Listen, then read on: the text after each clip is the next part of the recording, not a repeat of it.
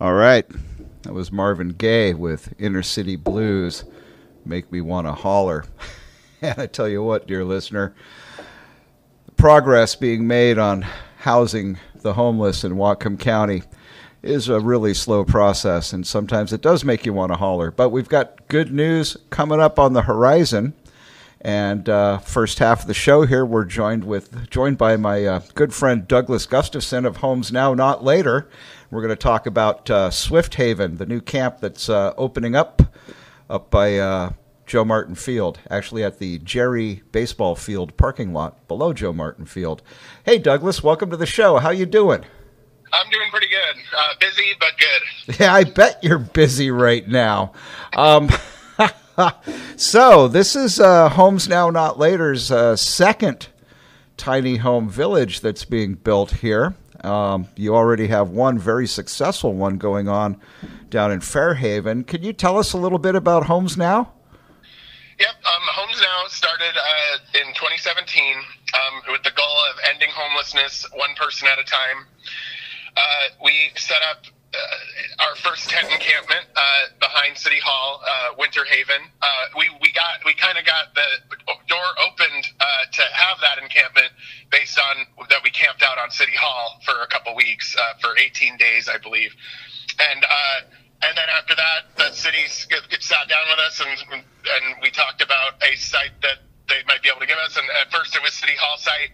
After we were there for th- for three months, we moved to uh, Safe Haven, which was our second tent encampment. Okay. And then after a few months, uh, and then after a few months, uh, we set up Unity Village. Uh, everyone from Safe Haven moved to Unity Village, and th- uh, that village was done in August of uh, 2019. So we've been we've been there for about a year and a half ish right now, uh-huh. and it, it's it's been it's been great the village runs smoothly. Uh, we have a 40% rehousing rate. Uh, it used to be 30%, but it's going up.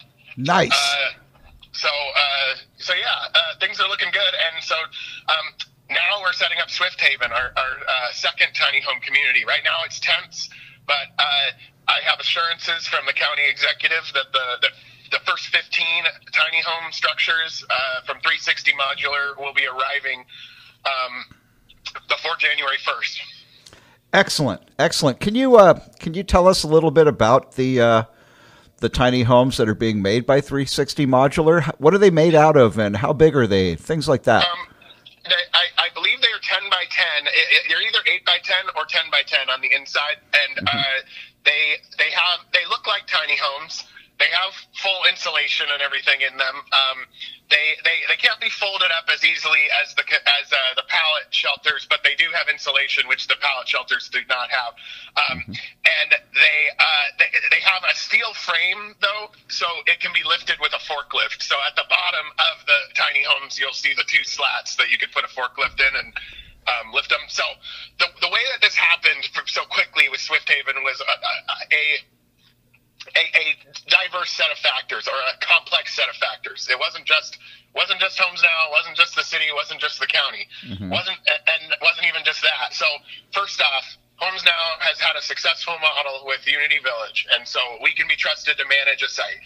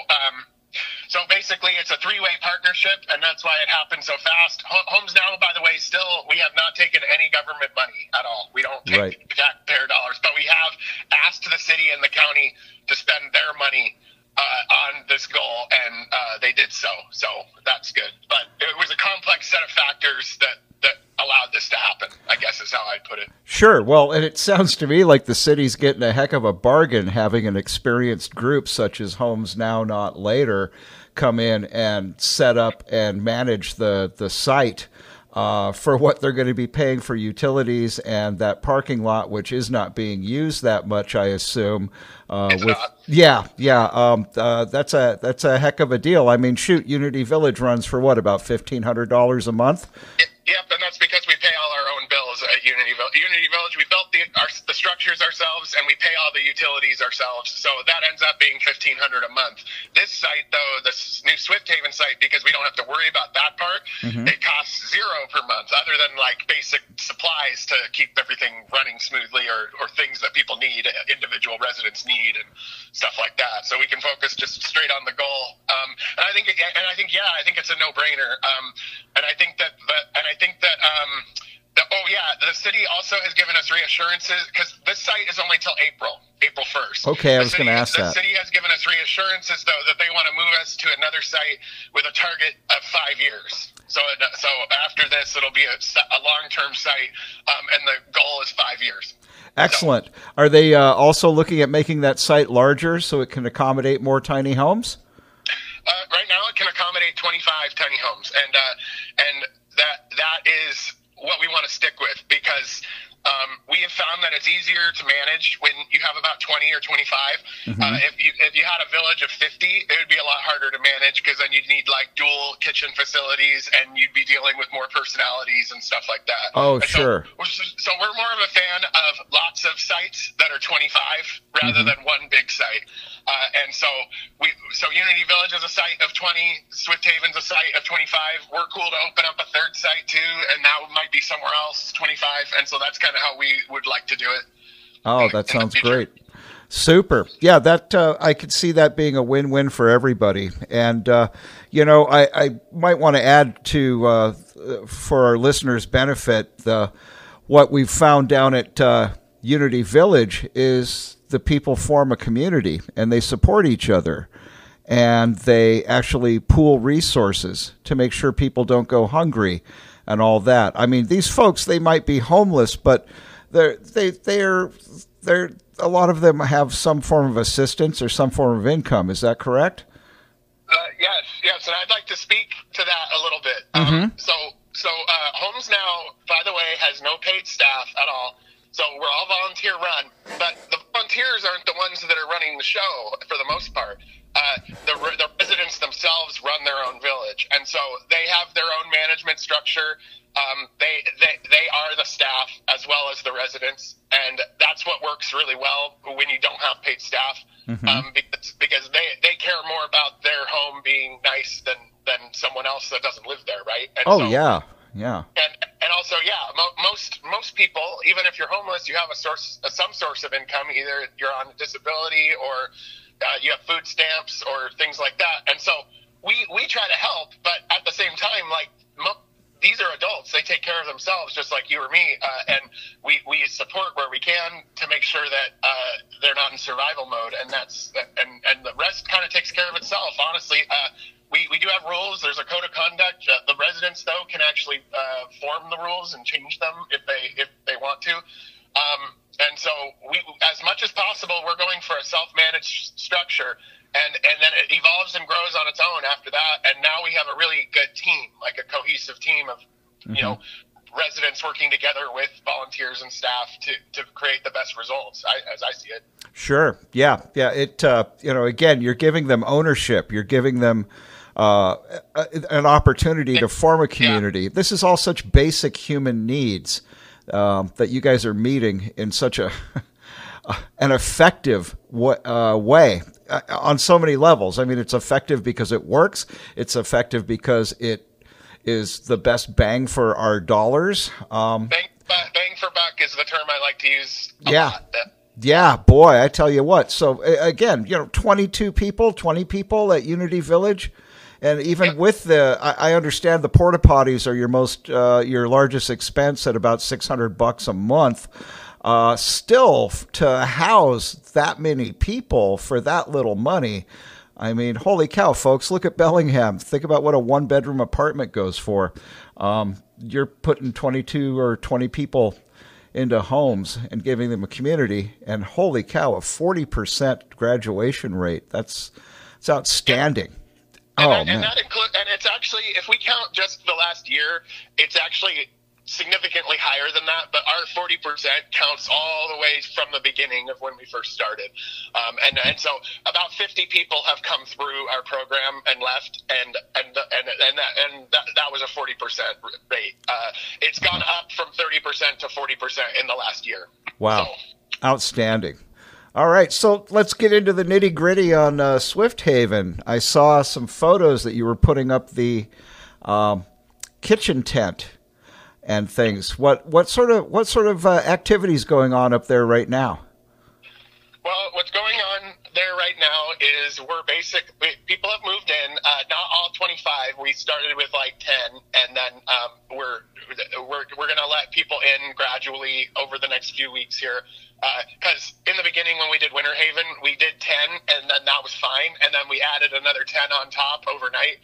And then it ended up being like where we had to, personalities clashed and stuff. And so it took us some, some weeks to, to work that out. But we figure with our first 10, if we let in like two next week and then three the week after that or something like that, then it'll, it'll be fine. Um, and, and, and, and that makes sense with the structures coming by, you know, January 10th or something for all 25.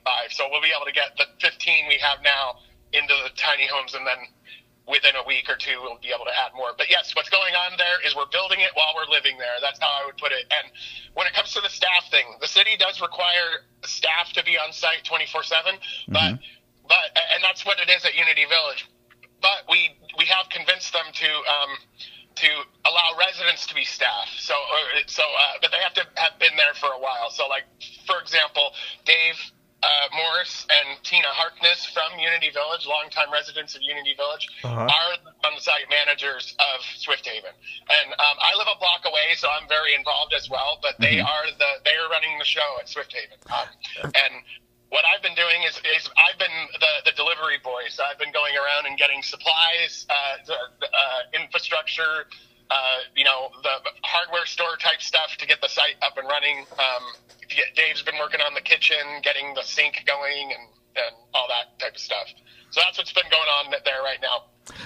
I think it's fantastic that you're training people in the one tiny home village to or you know they're they're learning skills there to where they're able to come over and supervise and manage opening up more. It sounds like this thing is going to be so self-sustaining and empowering for these people oh man, you know, it's been a mess, messed up year. I think everybody will admit, but uh, you're putting a big smile on my face here. I'm liking this.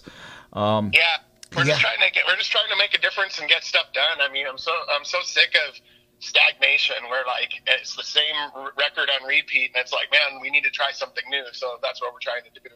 Yeah, yeah, and uh, I think.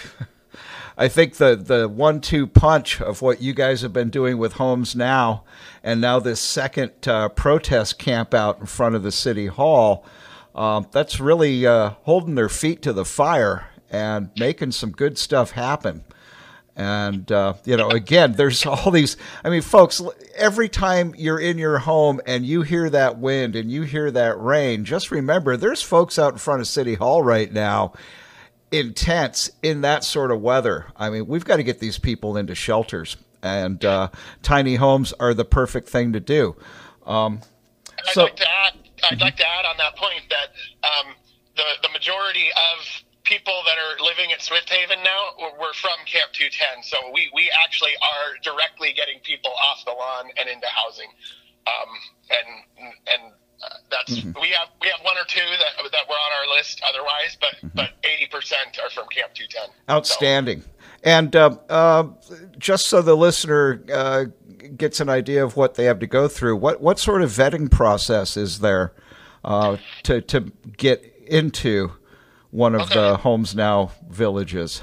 Yeah, so so typically uh, we have a paper application form for people that don't have cell phones or, or internet, but we also have an online uh, electronic application that's preferred. But at the same time, we've got both. Um, uh, we we do um, a background check. Now, mm-hmm. if somebody has a criminal record, lots of people have criminal records. That's not a mm-hmm. disqualifier. We just look for anything that might be dangerous or something. Like if we see like assault with a deadly weapon from last year or something, I'd be like, uh, I don't know, that's a little risky. But mm-hmm. if you mm-hmm. see stuff from 2009 and or the 90s, or you see like where it's crimes like shoplifting or, or urinating in public or things like that, it's like okay, yeah, they're safe. Uh, they can mm-hmm. probably be let in. Um, and and then we also have to send the their info to the Bellingham Police Department and they check for warrants. That's what they do. They just check for warrants, and if they have no active warrants, um, they they let them in now, or that they approve that they can be let in. Now, mm-hmm. um, we also uh, it, it also has loosened a little bit. So, for example, uh, Chief Doll, uh, we uh, we now deal with Officer Crass instead of Chief Doll, mm-hmm. and Crass has has indicated that it, that now we might be able to accept people if the warrant is is like not a serious warrant, and so that seems to be loosening a little bit too. That part. Outstanding. You know, uh, because really, what this is about is is uh, a second chance or or a new chance for these yes. people. And it sounds like if you give folks a chance like this, you get a really good response out of them yeah, people generally step up and, and want to uh, want to contribute on their own. You know, nobody likes no, nobody likes uh, just a handout, right? Like mm-hmm. they, they, people want to be independent and they want to take care of themselves, and you know, we just try to help people do that. And and then once they do, you know, people still have their issues. Everyone has issues, mm-hmm. and, but but when you're out of survival mode, all of those issues are mitigated and are not as bad and tolerable. Sure. That yeah, yeah. Again, like uh, someone told me from Homes Now years ago, housed people have doors that lock. And that whole idea, that just hit me like a brick, having always had a door that locked all my life. I never really thought about how significant just having your own space, your own little sanctuary where you can, your things are safe and you can start to heal yourself. I mean, it's, it's an amazing thing. Um, so, yeah, wow good on you guys. Um, so so the first the first um, units are arriving next week. Uh, that that's what that's what County Executive Satpal told me. Uh, he uh, he uh, him and I were in direct communication. He said he'll know more tomorrow. Okay. But, but he said that he has been in constant communication with the vendor, and that they have assured that by January first 15 of them are going to be delivered. Now I'm skeptical. Uh-huh. I actually thought I actually think it's going to take a little longer, but but that's just how I operate. I expect the worst, hope for the best, uh, mm-hmm. and and it's usually somewhere in the middle. Uh, and, uh, so, uh, but I but I he did say 15 guaranteed by the first, so we'll see. Wow, wow, that's uh that's Friday of next yeah. week. Yeah, yeah. If you're listening to a rebroadcast of this program on Thursday, dear listener, that's tomorrow. So I, I, I think uh, I'll be calling the executive next Thursday and seeing how things are going there. I think it'd be a good idea for just about anybody. You know, uh, community support is very important for these endeavors, folks.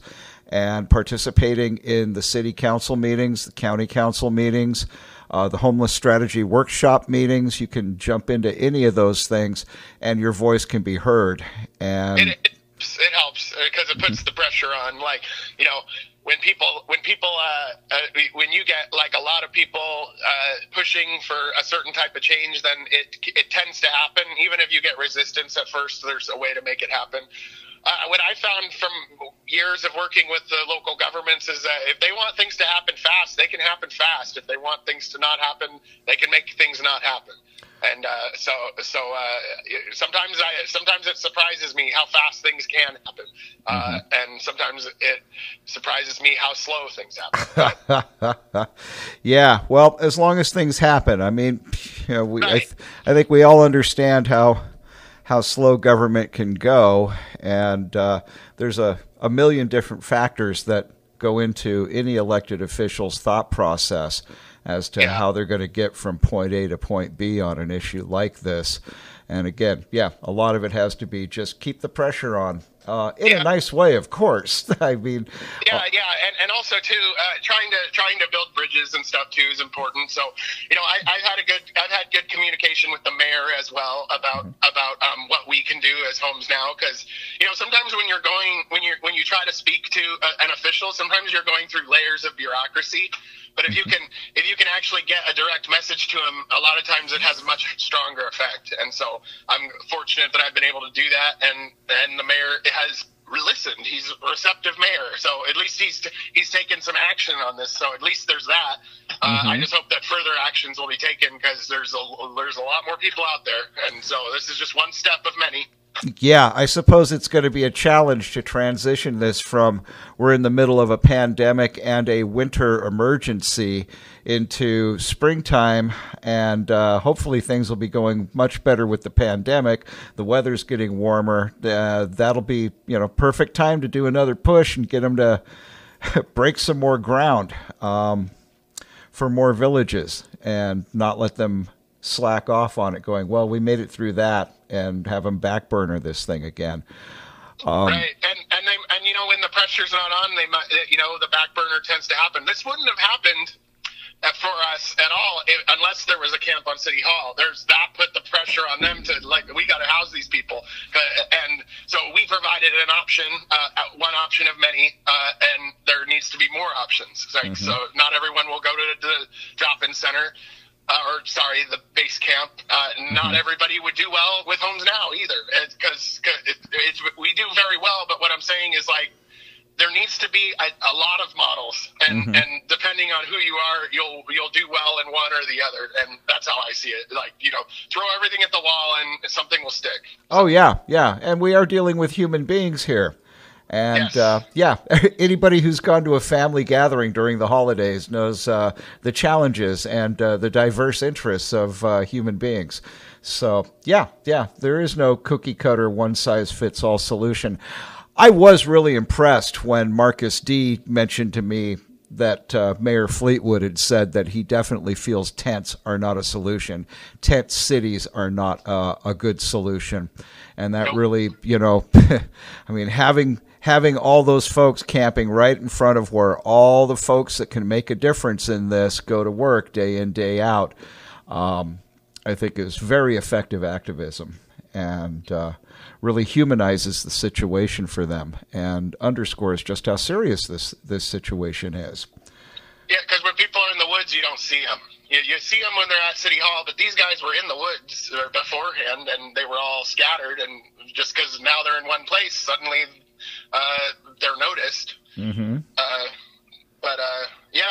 Yeah, yeah. And I tell you what, I'd, I'd uh, just like to do a little shout out to all those folks that like to make uh, pretty pretty nasty comments on, say, KGMI's posts on Facebook, where they talk about uh, uh, the homeless, and their hearts sound pretty hard. But I tell you what, folks, this is cost effective and this gets the folks off your trails and uh, gets the peeing out of the alleys and all these different things that go on. Uh, this solves those situations. So even if you don't have the compassion for the homeless that you should have, uh, think of your own self interest. This is cost effective. This gets that out of your sight.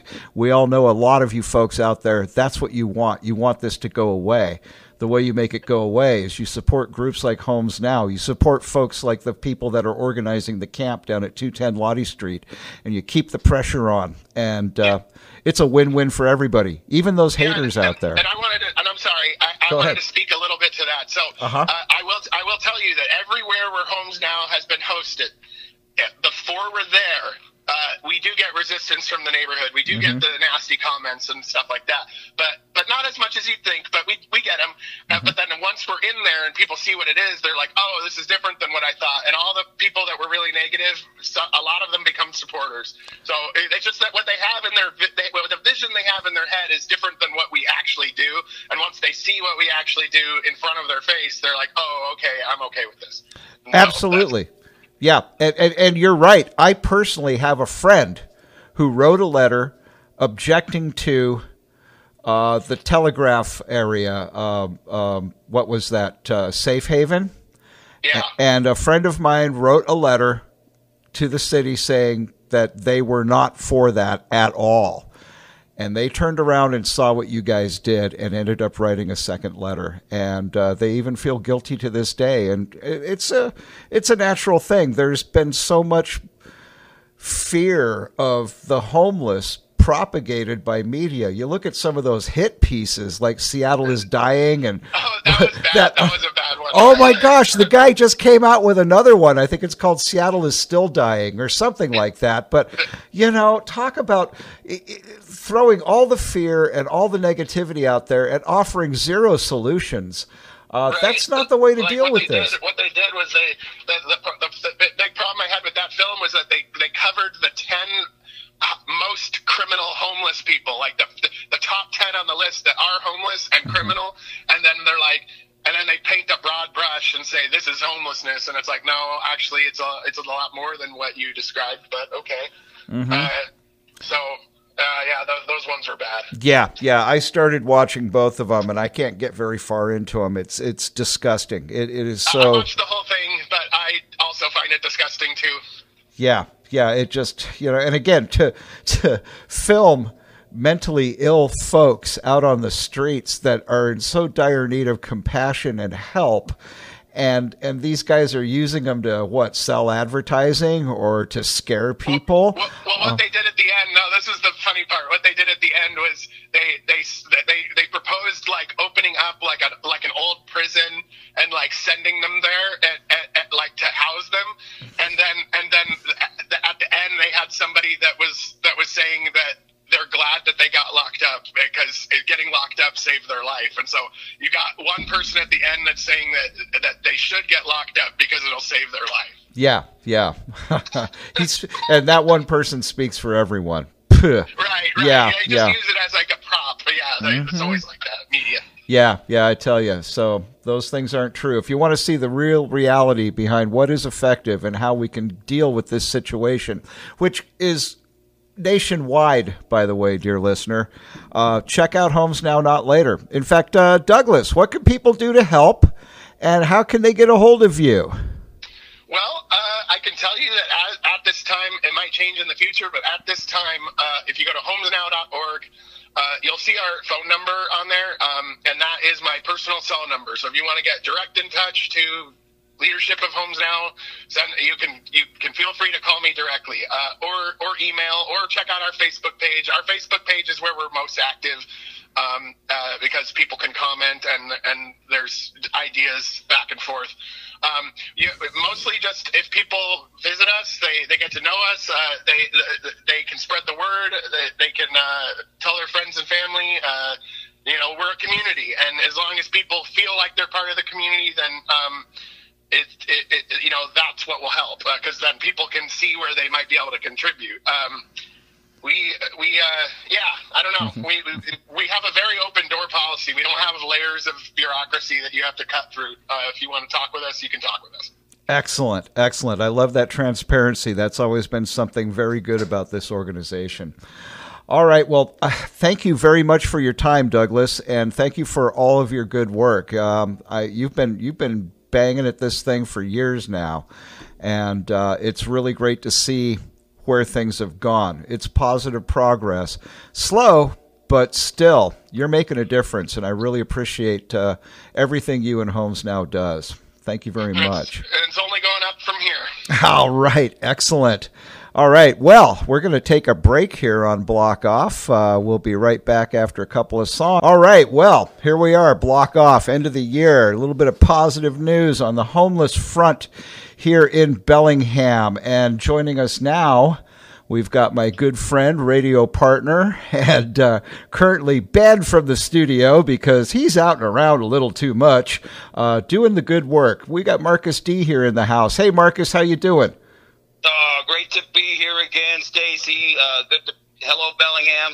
It was a great interview with Doug. I'm glad that went well like that. That was just really, really, uh, that, that was a good informational uh, interview. Nice shot. Really uh, proud of Homes now. I tell you what, you two guys um, are really making a difference in this town.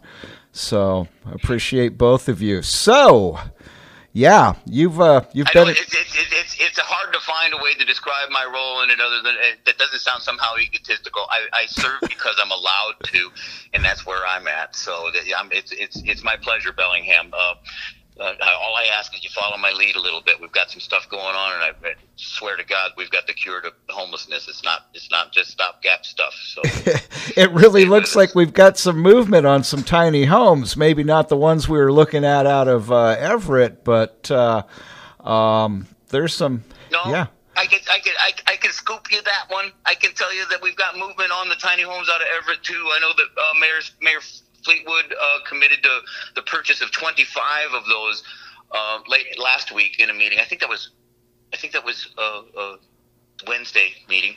Uh, we expect another meeting tomorrow. I've, it's been uh, my pleasure and and uh, my burden, and I see as my duty as I can as homeless advocate, uh, county appointed position for the homeless strategies work group that that I get in there and advocate for for the people the best that I can, and I find myself really, really quite in alignment in most regards to the co- the collective, as they call themselves, the people who, who formed the, the group on the camp who want to try to provide shelters.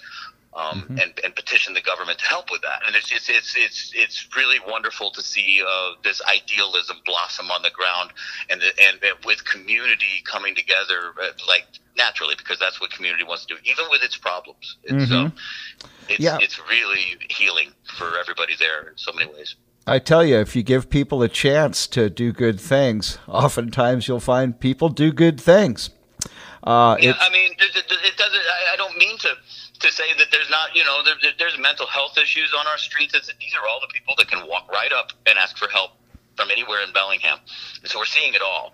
And I and I and I beg for Bellingham to see it through that lens too. This is triage. These people are just trying to do their very best with a very desperate situation still, but they've provided so much structure and so much um, uh, community for these people who were failing in our streets just before the storms came, and and, and they're, they're still largely failing on the lawn. They desperately need your help. They desperately need help outreach from the government and health department, and that's not forthcoming. So we're we're just we need you know we could really use the the, the, the Red Cross in honesty, uh, and, and and even that has been called for, and that's that's falling on deaf ears apparently. So we'll see. Wow. Yeah. I, I mean, again, look at the storms we've been having. Look at the amount of rain we've been having. Uh, and we've still got over 100 people out there on the lawn in front of City Hall.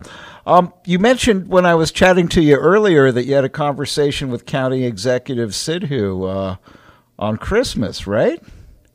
Yeah, he actually called me on Christmas Day, and he he he uh, explained to me that that he would uh, that he had family inside, and that he had come out to sit in his car uh, and told them all that he had a very important phone call to make. He wanted to let me know that he felt that way about it, and so I want to acknowledge that here too. And uh, we. Uh, he was keen that I hear him out and then uh, take my notes and then come back at him with what I feel and he'll, he'll hear me out and like that. Wow, I heard him out. but you know what? I, he came across too. Um, but there's there's a lot more work to be done. Um, he's he's um, he, I've I've heard him say a lot. Uh, I've heard him espouse a lot loftier uh, uh, talk in the past as a as a counselor when trying to protect this very same group of people. I mean, many of the faces that we see on the lawn right now are people that we dealt with three winters ago, and um, Mm-hmm. and, and and and had to provide uh, that that that Satpal Sidhu, who was uh, petitioning the county executive at the time, Jack Louws, to uh, open up shelters immediately for the to service these people because of the, they were going to die out there, and um, and he was just he was that's what sold me on Satpal actually is that he cared that much and that he fought his way through.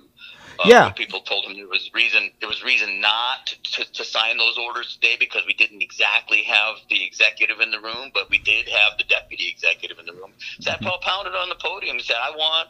We do have, and that's enough executive here. We have the will of the council. We have the will of the people.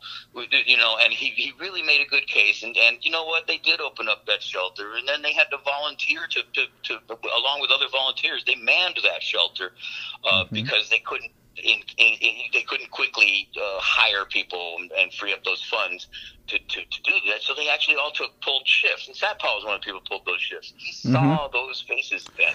Heck. And these are the same faces on the ground. And I, that's what I keep trying to remind him of as mm-hmm. we go. Um, well, yeah, so, that, that quote from Satpal from years ago when he said, You don't ask how much a bucket costs when your house is on fire. Yeah, um, yeah, yeah. That was that, that's him. Yeah, that was that same that same uh, meeting. That yeah, same I meeting. I yeah, posted it all over Facebook. You could probably see that on Homes Now pages or something. Mm-hmm. It's uh, it's an interesting uh, early 2019 council meeting where everything uh, changed in Bellingham. Yeah. And and activists were, were behaving like good activists, and politicians were stepping up to the plate. It was. I'm, I'm surprised that I'm praising that moment so hard now because of the failure that we're seeing in large. You know, mm-hmm. and, and and I want to you know again I want to also say that I I don't speak for the collective, the group that's on the ground, the the, the Bellingham Mutual Aid people who've come together to to, to serve. I don't represent them, but again I, I find myself in alignment with them and mm-hmm. consult with them on the constant as well as with our government leaders. Now, can um, you can you let our, our listener know just just who are these people? The the this Bellingham Collective. Well, um, the Bellingham Collective represents and is a collective of the, the campers. There are people who have uh, there's there's a, there's a, there's a lot of youthful uh, activists who step forward to represent and try to decentralize to the level where they're just you know basically a camper in their representation. At least that's the spirit of negotiations. Yes, the government needs somebody to negotiate with.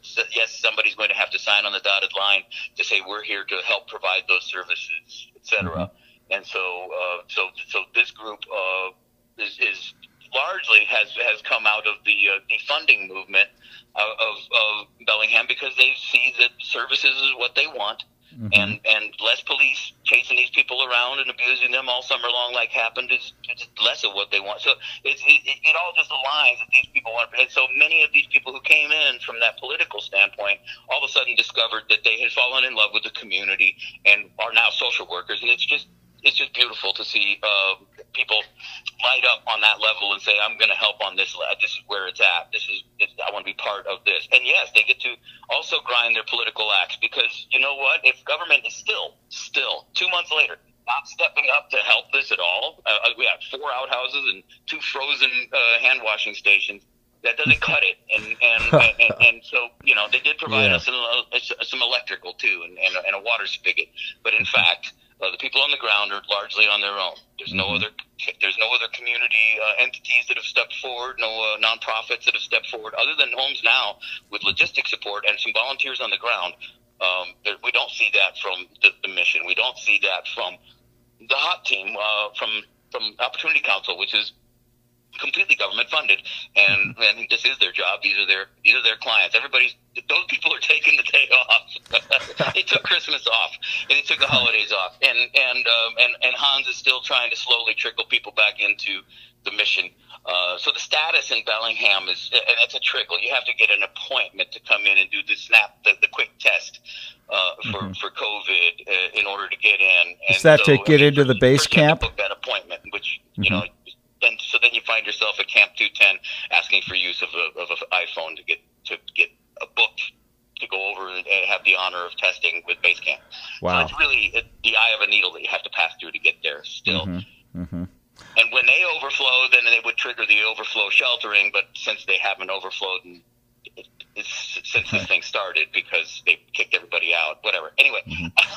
well, the truth is the truth is we have a solution as well, and we're going to be talking with uh, Satpal mm-hmm. and, and and with Mayor Fleetwood uh, tomorrow, and and I expect that that'll be Monday to our listeners in case you're mm-hmm. listening on Thursday. Uh, this will already have happened ideally, and mm-hmm. uh, hopefully we'll have something going on.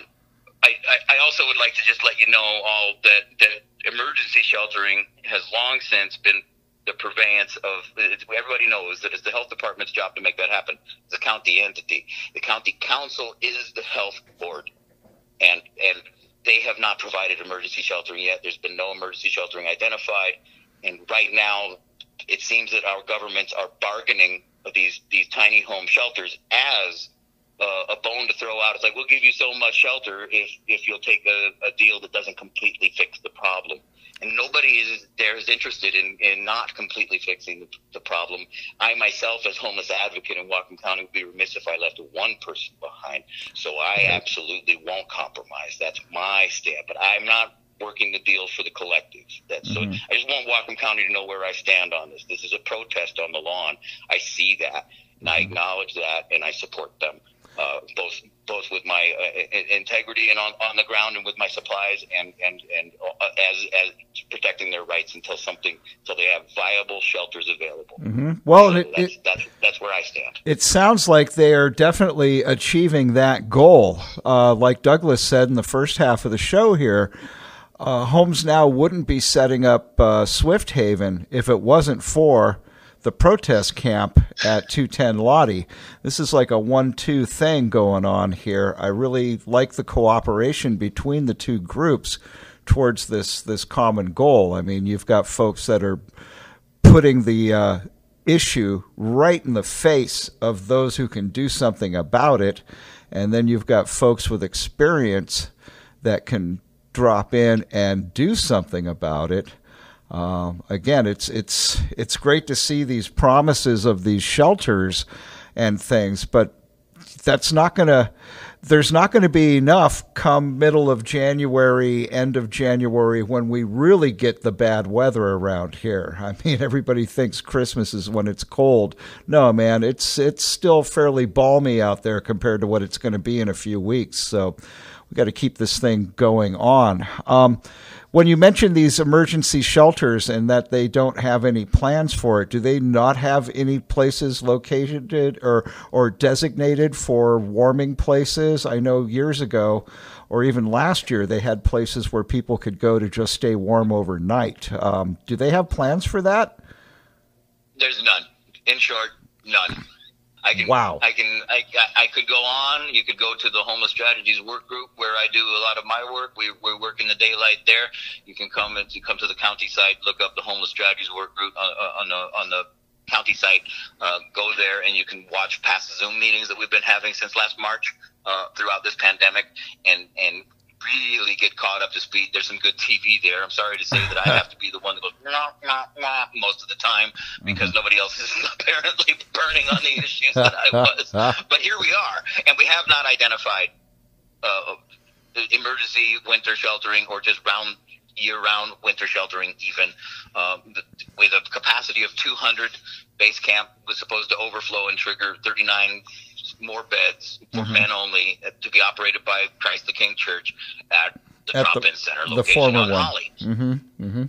But but since they won't overflow because they kicked everybody out and they're only letting people slowly trickle in over weeks, mm-hmm. uh, that that emergency shelter will not be triggered either, and it is also run by the mission. Of course, there's almost everybody that you see on the lawn uh, at, at City Hall is is not allowed at base camp or won't go to base camp and, and won't take advantage of mission services. So even if you open up an overflow shelter run by mission services, then you still have the same problem. People won't go there or aren't allowed there because of mission mm-hmm, rules. Mm-hmm. And so this is something that advocates have been yelling about for years and uh, and now we this year we really see it come into glaring uh, detail of what what the real problem is there. There's, more sure. people on the lawn at City Hall than there are sheltered by the mission and all of its associated shelters. There are empty buildings all over Bellingham owned by the mission right now. So we need to like really examine that. Yeah, yeah, no kidding. And again, the reason some of those folks won't go is they have trauma related to experiences in the church. Um, it, it's a fact. Uh, it, it's a fact, and you know, there's no way to dance around that. There's some folks that yeah, just no, won't go there. There's, there, you're right. There's some folks that are just just will not go because it's a church. There are other folks who go, "I'll be glad to go to a church, but it can't be run by that church." And and they have their reasons and they have their experiences and, and specific mm-hmm. shelter recollections of where they've been.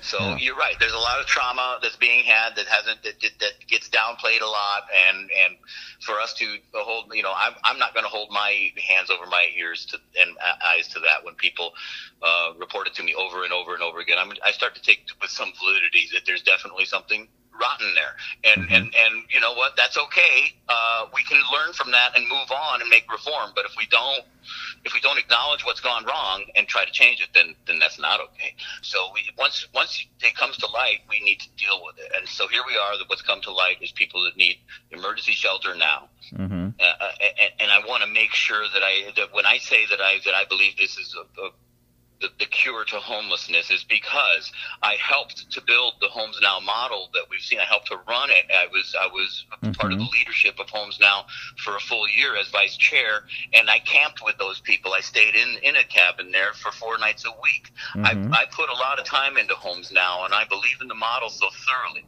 that it, it, it the rehabilitation rate, the re, the rehousing rate, the the crime drop when it's in your neighborhood, when when there's outreach that's needed on the streets, it comes from this community community. You bring us the donations, and and our people know where to distribute it, who to distribute it to. They're actually talking to the people on their phones and chats and things, and saying, "What do you need? You need this? Okay, I'll bring that."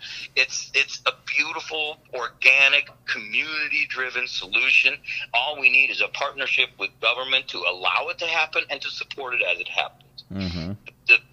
This is a heavy lift what we're doing now. The people who aren't allowed at base camp and the people who've been relegated to living in our streets and and in, in, in our woods or, and, and doing damage all over environmentally too mm-hmm. and, and to private property that, that the city doesn't cover you for.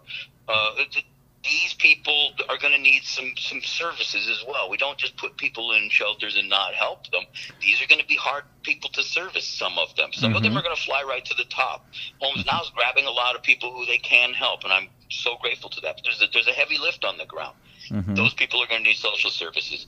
The government is committed to, to, to helping to provide money for, for some of these social services.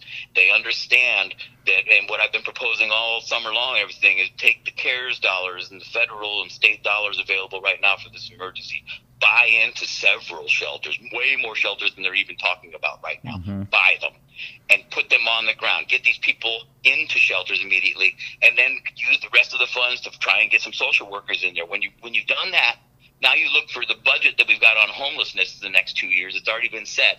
Just raid that budget, and instead of providing motel vouchers and leases on facilities that, that burn right up and you don't own anything later, it's instead invested into these villages and get social servants in there and get some actual services for people. Yeah do a full buy-in on that program with the same budget we're already using, we could solve homelessness in our city, and then we can take it to other cities and show them how to solve homelessness in their city instead of waiting for their people to come to our town to, to, to do that, which is what everybody's like worried about that we're going to invite people here. There may be some. There may be some, but you know what? Somebody's got to lead, and you know what? We've got the solution, so we should definitely do this. Oh we, yeah. We should we should share this information like wildfire across America and solve homelessness in the blink of an eye. If mm-hmm. we just you know if we can get a buy-in, everybody's got to buy in. yeah, yeah. Well, it, it looks like again the baby steps are being made. And slow but sure, there is some buy in on the part of the city. Uh, it's good to see uh, members of the county council that are supportive of tiny homes and dealing with this problem in a different way. Uh, and again, you're absolutely right. The folks that are camped out at City Hall, these are folks that are going to need a lot of services. This is heavy lifting. It's not going to be easy. But in Bellingham and in Whatcom County, it's doable. And it would be amazing to see this happen here and then have it spread elsewhere, you know? And I would say to the people that go, oh, if you do this sort of thing, well, more people will come here. Well, okay. If they do, they do. But if we do it here and help export it elsewhere, then everyone's taken care of. And isn't that what we're supposed to be doing is just looking out after each other? Holy cow. So, and, and I'll tell you this, Markis, once this is successful, you'll find every single local politician that might have stood in the way or dragged their feet, they'll be out there thumping their chest and going, "Yeah, I did that." I supported that. no, I have no question about it. Hey, no, I do want to. I do want to put a caution there in some of your statement there, and here is, uh-huh. it, it is this. It's not a full buy-in yet. It is just a, a coming across a little bit, mm-hmm. and to, in large regard, it really looks as if they're just trying to clear the city hall lawn when we know that there are hundreds more people out in in our woods and and surrounding areas around Bellingham and Whatcom County. There are there's it's largely regarded that there there, there is between 12 and 1500 people in Whatcom County right now experiencing houselessness, and and we have the mission has 200 beds. And then, and then 39 more if you go to the drop-in center, and mm-hmm. then Homes Now is going to bring online another another 50 maybe in the next month or three, uh, depending mm-hmm. on how fast those shelters can get made. We have hundreds of other people that are going to need service, and and we need to get ahead of it because during this pandemic and during the uh, the, the rent moratorium and all that, we're even still experiencing more I'm watching. I'm still going out on the streets and doing outreach to people who aren't camped at, at Camp 210. Uh, some people aren't comfortable there. Some people don't aren't comfortable in crowds, and some people, you know, a lot of people are camping in their cars and RVs down on Cornwall to an extent like I've never seen. Oh so, yeah. Um, we're we're it's already happening, and the moratorium hasn't been lifted on rent. Uh huh. Yeah. We need to get way ahead of this and, mm-hmm. and, and be proactive. We need a site like the Clean Green site off of Lakeway. That size allows us to bring in multiple camps, and maybe even some, several of them run by one organization. But each camp can't, like Doug observed, can't should not be over 25 people or so because that's just too much to tax the uh, the kitchen and and bathrooms with in any one camp. Mm-hmm. So you need to just you need to spread that out into smaller camps, but they, they shouldn't. They, this is this is an emergency. We need to provide grounds where the where the county can come to bear with maximum amount of, of yield out of less money, and so they can provide one large services building with each corner of the services building being in a different camp. You can service a hundred people with one service building and four camps. Uh, okay. Run by different operators. So oh, yeah. There's, there's lots of solutions out, out here. Excellent. Well, you know, and and that's a good way to end this interview. There are lots of solutions out there. Let's keep working on them. Um, wow, Markis, can't wait for us to be able to be in the studio together again soon, uh, doing what we do. But man, I'm so proud of you and so pleased with what you and everyone down at that camp and everyone at homes now and all the volunteers, all the folks, even right down to the, the neighbors that are making cookies and bringing them down. Um, it's great to see this community banding together and doing something about this crisis in our community. So it's that's true. It's a community. So far, it's almost an entirely community solution, and it and it really heartens me.